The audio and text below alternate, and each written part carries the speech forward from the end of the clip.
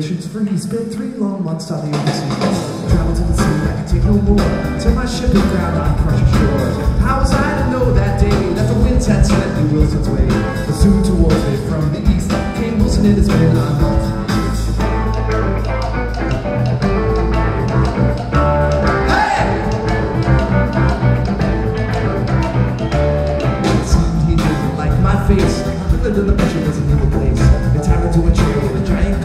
nailed a piece of paper to my tail there.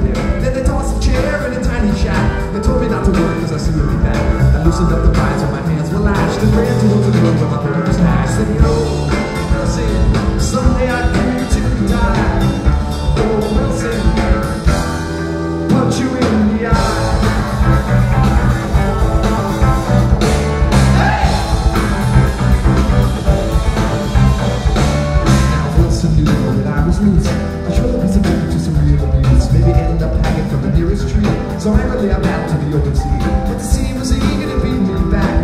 mm.